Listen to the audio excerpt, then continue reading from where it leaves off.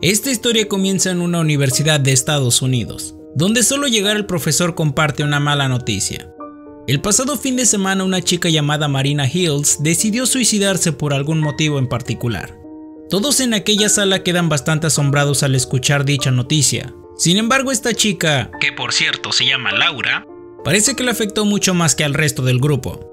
Otra de las chicas menciona que aquel suicidio fue filmado con la propia cámara de Marina, Luego de esto, el maestro pregunta si alguien era el amigo de Marina, pero un silencio incómodo se hace presente en forma de respuesta a aquella pregunta. Dos semanas antes conocemos la historia de Laura Woodson, una chica bastante popular en la universidad y en redes sociales. Durante su clase vemos a esta chica observando a Laura. Por cierto, ella es Marina Hills. Esa misma noche, Laura recibe una solicitud de amistad por parte de Marina, al explorar un poco su perfil, Laura descubre que Marina no tenía amigos en aquella red social. Mirando algunas de las publicaciones hechas por Marina, Laura comienza a ver una serie de imágenes y videos bastante extraños, como un panal de avispas, un castillo e incluso un espejo en medio del bosque. Y recuerda esto para más adelante. ¡Oblígame, perro! A la mañana siguiente, Laura conversa un poco con Marina de camino a la universidad.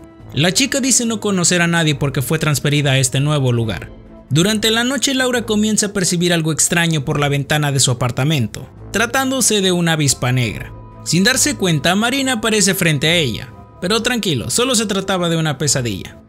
Al día siguiente, Laura revisaba su cuenta de Facebook mirando que Marina había subido una fotografía editada de ellas dos. Esto incomodó mucho a Laura ocasionando que investigue más el perfil de Marina. Explorando entre todas sus publicaciones, Laura encuentra más imágenes extrañas, entre ellas la de dos chicos con el rostro desfigurado. También observa un vientre con signos extraños, y finalmente pequeños fragmentos de videos sobre una construcción en llamas. Y recuerda esto para más adelante. ¡Oblígame, perro! Laura cada vez se siente más incómoda por aquella situación. Esa misma tarde, la chica recibe una videollamada de Marina felicitándola por su cumpleaños. A lo que la chica menciona que no hará ningún tipo de fiesta, ya que solo saldrá a cenar ella y su novio. ¡No creo! Obviamente aquello se trató de una mentira, ya que Laura sí celebró su cumpleaños en compañía de todos sus amigos. Marina se da cuenta de todo ello gracias a unas fotografías que subieron a su perfil de Facebook. Ese día algo cambió dentro del Otso. Al día siguiente Marina confronta a Laura por haberle mentido sobre la fiesta de anoche. La chica dice haber estado trabajando en un dibujo para Laura durante las últimas dos semanas, al forcejear un poco, Laura termina revelando la cabellera de Marina, quien padecía una extraña enfermedad llamada tricotilomanía, que tras experimentar una emoción, ella reflejaba dicha emoción arrancándose cabello. Marina sale de la cafetería completamente humillada ante toda la universidad.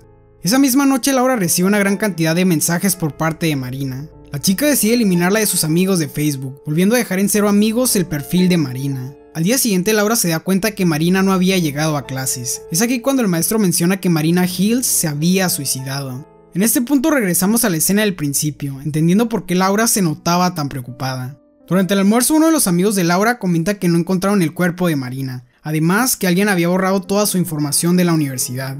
Esa misma noche Laura es despertada por un mensaje de su celular. Revisar en la computadora que decía dicho mensaje, descubre que alguien le envió el video donde se ve a Marina suicidándose. Al intentar eliminar la conversación de la plataforma presentaba un error.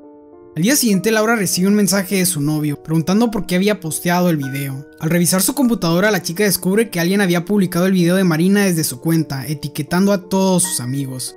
Laura decide visitar a su amigo Kobe para ayudar a eliminar a Marina de sus amigos, ya que el chico es un experto en informática. Al revisar el perfil de la chica, Kobe descubre que el código de programación que había en el perfil de Marina era completamente diferente a uno normal, casi paranormal.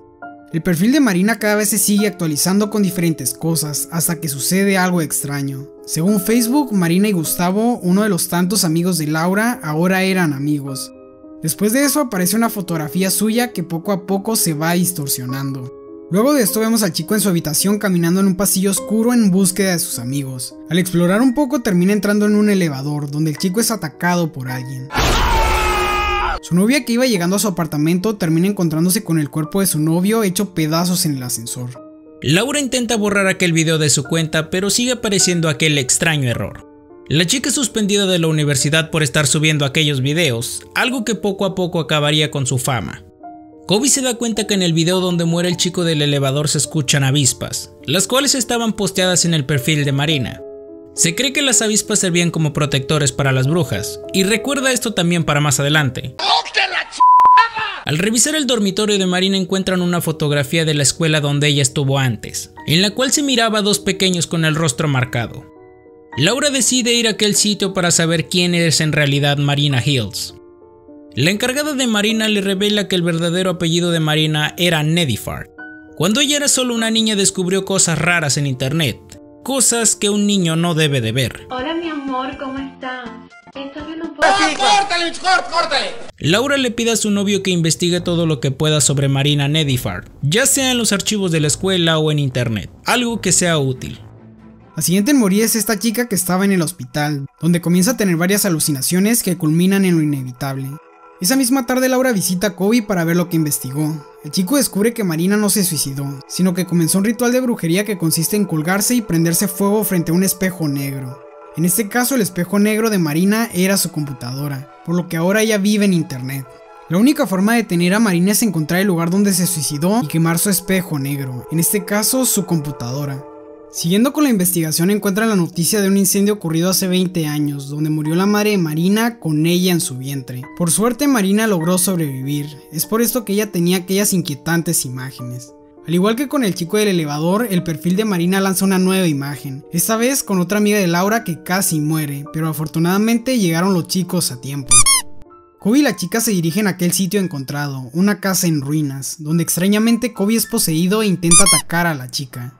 Mientras tanto en el hospital la chica es poseída por el espíritu de Marina y se termina quitando la vida. Afortunadamente Laura consigue escapar llegando hasta este sitio, donde por obra del Espíritu Santo mira estas tres torres, recordando una imagen que estaba en el perfil de Marina. El novio de Laura llega al sitio de antes encontrándose con Kobe. Justo en ese momento, la chica le envía una ubicación para que vaya a recogerla. Laura llega hasta aquel lugar donde aparece algo muy extraño. A los pocos minutos llega el novio de Laura y Kobe, el cual termina asesinando al pobre chico. Ahora Kobe va tras Laura y está a punto de matarla, pero en ese instante llegan cientos de avispas que acaban con la vida del chico. Laura termina encontrando la computadora de Marina, donde parece que entra en su realidad extraña apareciendo en un bosque. Sin darse cuenta, Laura se transformó en Marina llegando a cero amigos. Y así termina esta película. Muchísimas gracias a Bower por participar en este video. Muchísimas gracias a ti Heavy por invitarme a tu canal. Si les gustó la colaboración pueden visitar alguno de mis canales, en uno resumo toda clase de películas y en el otro las explico. Aunque lo más importante es darle like a este video, ya que Heavy hace un genial trabajo. Eso es todo, Bower fuera, nos vemos en la próxima. Por cierto, vayan a su canal donde lo acompaña a narrar una película muy peculiar. El link está aquí abajo en la descripción. Muchísimas gracias a los miembros del canal por apoyar este proyecto. Si quieres que tu nombre aparezca al final de mis videos, puedes hacerlo convirtiéndote en miembro del canal. Y hasta aquí el video de hoy. No olvides revisar estos videos sugeridos, compartir este video con tus amigos y suscribirte para más contenido. Mi nombre es Heavy y nos vemos pronto. Adiós.